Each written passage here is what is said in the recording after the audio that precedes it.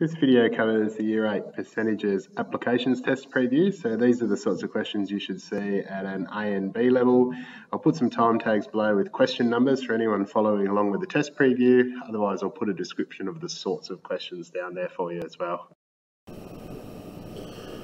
Question one is very similar to the questions that we were getting asked at the end of the fundamentals test. So we'll do a profit one and we'll do a loss one just so they're nice and clear. So what I'm looking for here is to see whether I've made a profit off this or a loss.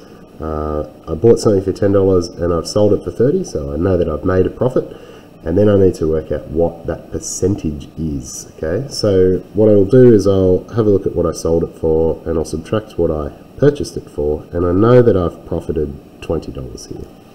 But I want to know what that is as a percentage of the original amount, okay? So I'll take my profit of $20 and put it over my purchase price of $10 and then I will put that into my calculator which will give me the answer 2. Now this is a, a decimal form, okay, even though it doesn't look like it, it's 2.0 if you like. To get this into a percentage, we need to work out what that percentage is, okay? So what I'll do is I'll have a look at what I sold it for and I'll subtract what I purchased it for and I know that I've profited $20 here.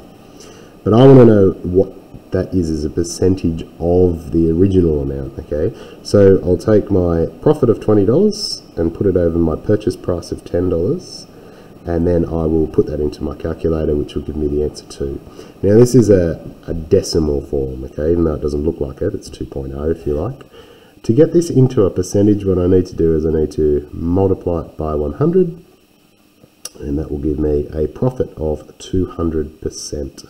Now that's 200% of this original price, okay? So the original amount plus an additional $10 makes my $20 profit, okay? So it's the percentage of profit, not overall. In the next one, I can see that I've purchased something for 160, but I've sold it for 120, so I've clearly made a loss here. So if I take my selling price and I subtract my original price, I can see that I've actually lost $40, okay? So this negative is going to be a loss. So it's important when I'm answering these that I actually put down Okay, question two. There's a couple of ways of answering these. Uh, have a look at the answer sheet if you want to have a look at how to work out what 25% of this is and then subtract it off there. I think that that is a slow way of doing it and it lends itself to making a mistake. So I use friends of 100 instead. If I was looking at purchasing something in a shop and it told me that it was 25% off, then if I remove 25% of this, I know that I still have 75% of it left. Okay, It's friends of 100 like you learned in primary school. So instead of working out what 25% of this is and then subtracting it from the original, what I'm going to do is I'm going to take the 200 and I'm going to multiply it by 75%. Okay, and this will tell me what 75% of the 200 is, which is going to work out to be $150. And that is a better way for me when I'm walking around in the shop with my phone as a calculator to work out what the new price of an item is. In question 2b, I have to increase $40 by 25%. Okay? Now, rather than again working out what 25% of 40 is and then adding it back to 40 again, there's an efficient way of doing this. If I take my $40 and I increase it by 125%, then I've still got my original 40 and I also have 25% of 40 and if I put that into my calculator I will find that that has increased to $50. Question 3A wants me to find out what discount I got when I purchased the car. It's normally 35000 and I managed to buy it for 27500. So to do that, what I'm going to have to work out is how much I actually saved. So my discount in dollars is going to be the 35000 that it should have cost minus the 27500 which is a saving of $7,500. Okay, now I need to turn that into a percentage. So if I take my saving of seven and a half thousand dollars and divide it by how much the car should have been, okay, and then what I do is I pop that into my calculator. I will get 0.2143 and then to turn that into a percentage I just multiply it by 100 and I'll find that I got a 21.43% discount.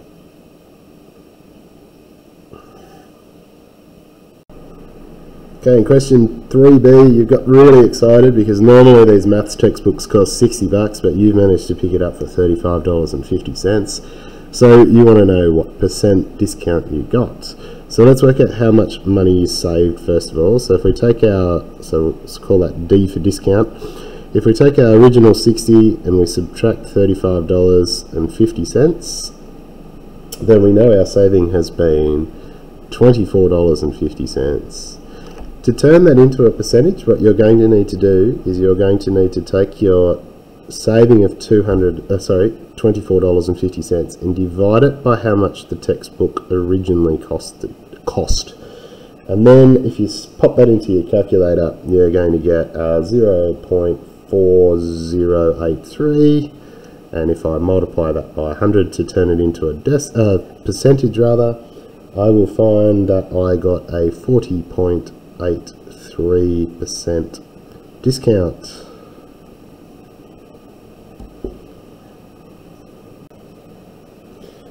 Okay, question four. These questions are fairly um, confusing, um, but you, they don't need to be. Just look at it and just solve it as you read it. Okay, you substitute odds with multiplication, and I would be turning the percentages into decimals. You could also use fractions if you wanted to. So I'd just be rewriting it as I see it, which is 0.2 times 0.5 times 600, and then putting it into my calculator, which would give me 60 kilos. Not forgetting the units. Okay, 4b, I would be converting these into decimals again. Uh, you can put them into your calculator as fractions. Two thirds is one that comes up pretty regularly and it's one worth just committing to memory. Otherwise you can use your calculator to find it out, but it's 0.66666 repeated, so 0.67 multiplied by 7.5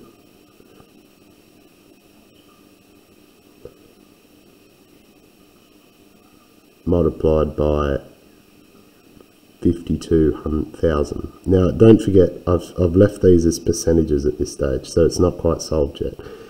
Let's turn them into decimals, okay?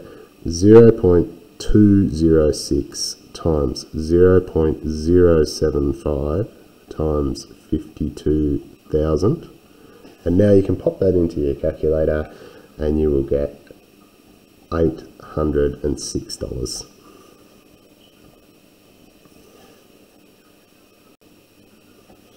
Okay, question five, couple of ways of doing these. Um, Another good way to do this might be to have a look at the answer sheet and see how um, that teacher has answered these. I will use algebra because we've just finished algebra so we know how to use it. I'm going to let x be the original price in these questions. So what they're giving us is the retail price, how much you're going to pay for the chocolate and what they're asking for is the wholesale price. Now that's what the shop owner pays for it, okay? So he buys it for a certain amount, marks it up by 75%, and then sells it to you for $5. And we want to know how much he pays for it, okay? So remember that whatever he paid for it, or she paid for it, they have increased by 175%, okay? The original amount they paid for it, okay, and an additional 75% of that. And that has become five, five dollars. Okay, so what we're going to do is balance method. It says to multiply, so I'm going to divide by 1.75 and I'll find that the original price would have been $2.86. Okay, so in the second example, really expensive chocolate. Remember that this is the retail price, the price you're paying for it. The wholesale price is what the shop owner paid for it. And then he's gone and marked it up by an additional 75 cents. So he's marked it up by 175%. So we're going to let X be the original price.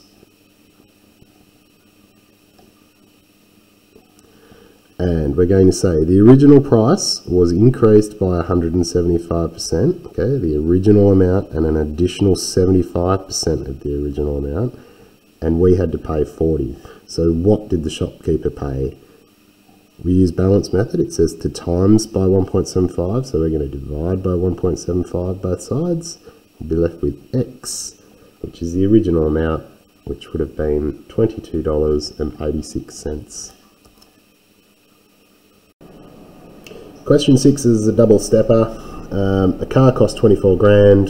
They've reduced it to 20 but it still didn't sell, so they reduced it by the same percentage again. Now we don't know what the percentage is, so we'll start with that. Okay, so we know that um, if it was twenty-four thousand and they reduced it twenty thousand, then we know that it's been discounted by four thousand dollars. Okay, that's nice and clear. Let's work that out as a percentage. So 4,000, just move the camera over a little bit, of the original 24,000, okay, if we pop that into our calculator, we'll end up with uh, 0.166%, uh, 6666666. As a percentage, if we multiply that up, it is a saving of 16.6%. Now, the question is only half answered, okay? So now what they want to do is they want to reduce the $20,000, the new price of the car, by a further 16.6%, okay? Now, couple of ways of doing this, but me, um, if it was 24,000 and they reduced it 20,000 then we know that it's been discounted by $4,000 okay? That's nice and clear. Let's work that out as a percentage. So 4,000 just move the camera over a little bit of the original 24,000 okay if we pop that into our calculator, we'll end up with uh, 0.166%, uh, 6666666. As a percentage, if we multiply that up, it is a saving of 16.6%. In question 7, this time, it's similar to question six, except this time something's increasing in value. So this time there's a baseball card or basketball card that's going up in value. So let's work out what percentage it's increased by. So it was worth 135 at the end. Originally it was worth 120. So it's had a rise in value of $15. We need to know what that is as a percentage. So what we need to do is we're going to have to put the original sorry, the increase of 15 over the original amount of 120 and put that into our calculator which is going to give us uh, 0.125 we'll just convert that into a percentage which we know is just multiplying by 100 by now. So it has increased by 12.5% okay if it then rises in value by the same percentage again, how much will it be worth? Okay, so now it's worth $135 and we want to know what a 12.5% increase on this is, okay? So what I'm going to multiply it by is 112.5%, okay? So I'm putting it in as a decimal, so I am, don't need that decimal there, sorry. So it will be, I'll just scratch that, 135, the increased value, and I'm going to increase it by a further 120 and put that into our calculator which is going to give us uh, 0.125. We'll just convert that into a percentage, which we know